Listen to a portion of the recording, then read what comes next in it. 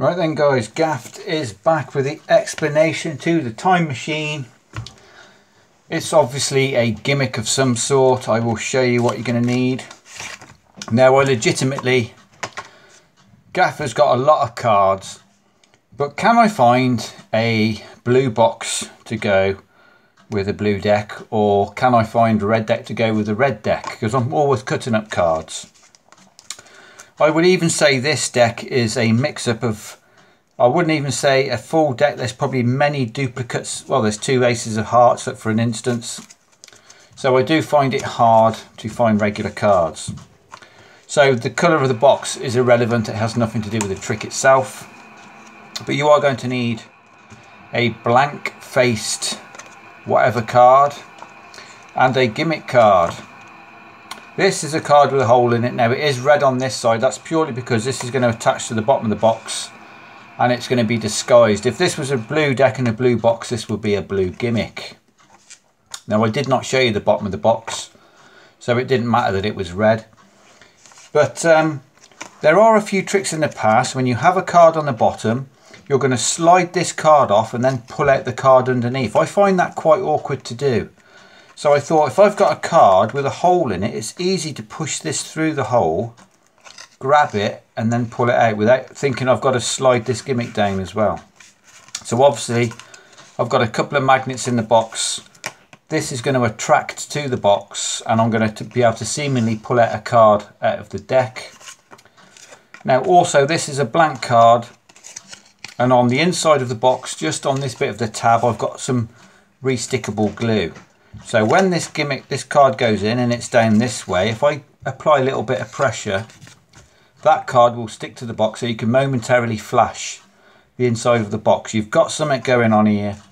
But to the untrained eye, you know, guys that don't use the cards a lot, they're not going to really notice anything. I hope. So you've got a bit of restickable glue here and a magnetic bottom of the box gaff, whatever you want to call it. How the trick starts is I'm going to have this on the bottom remembering the orientation.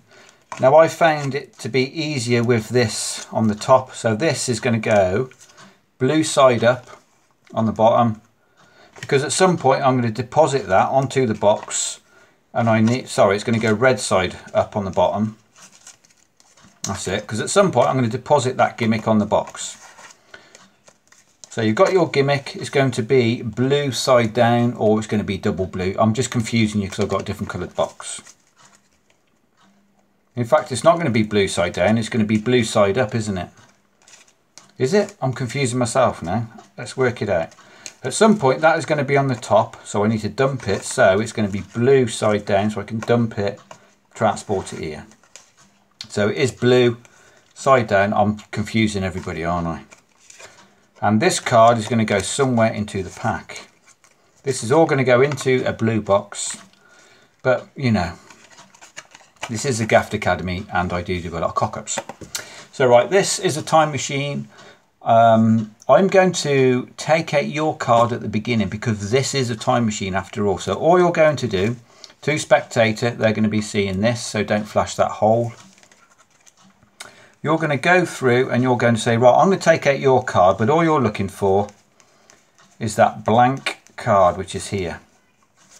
You're going to take out what they think is a regular card and you are going to put it into the box, remembering it needs to go in this way because at some point it's going to be stuck this way. There was one eagle-eyed guy on the comments who noticed the card switched over. So you're going to place their card into the box, do the box up, remembering to keep it this way up. Remembering also the orientation of your hole. And now they've got a completely free choice to pick any card. What's that one doing in there? Get rid of that. See what I mean with my cards? They've got a free choice. Let's say they have this card. In fact, it is a free choice, but this is the card you were going to choose because this is a time machine. You could get them to sign this card if they want. While they're signing this card, get yourself a little break under this card and then swing cut this card to the middle and hot keep that break. So you've got their card right here and you're holding a break on the back. They're going to sign this card. You're going to take this card, seemingly pushing it somewhere into the middle. It is going in the middle, but it's just going directly above the gimmick card. So you're going to push that in, push down, and then double undercut to the top if you want. So what's happened is now this is their signed card, and it's covering the gimmick. Right, we're going to go back to the box now. Remember I did put a card in the box at the beginning. You can hear it rattling around inside. Obviously the gimmick stuck to this now and their card is here. So all you're going to do to the spectator, to them it looks like you're going to open up the box. As you reach inside just apply a little pressure on this card so it will stick. But you can also grab hold of this card and slide it up through the gap. Get it to this point and then just pull it out. What I would say is have your fingers around the box so you can keep this card as it comes out square. You won't want it to come out like this and they'll notice it. So maybe angle it down, get it going and then just pull it out quickly. Now at this point you could flash the bottom of the box if you want and show that, that making sure that card is stuck. You could flash the box, you could flash the bottom. Just making sure that this card is stuck to your little bit of double stick glue or whatever you've got in there. I just did a little flash like this so they could see there's no card. And believe it or not, the card in the box at the beginning was their signed seven of clubs. Now I have noticed this box has got a bit of a, a shine to it. So this isn't the same sort of colour as this card. So if you're going to make this gimmick a little bit better, maybe you'd use the bottom of the box to make the gimmick so it would match the colour, like there's a bit of shine to it. I do hope that's clear enough guys, I'm waffling on a little bit, I've had a little drink, you know what I'm saying? It is late as well. So it's just a gimmick like this. You don't even need to put this hole in it. I've just put that in because if that hole's not there, you've got to glide this back. And sometimes what I found is if you've got a card here and you glide this, it, this card seems to go with it. So having this little hole, it just means you can just get it going and then pull it out.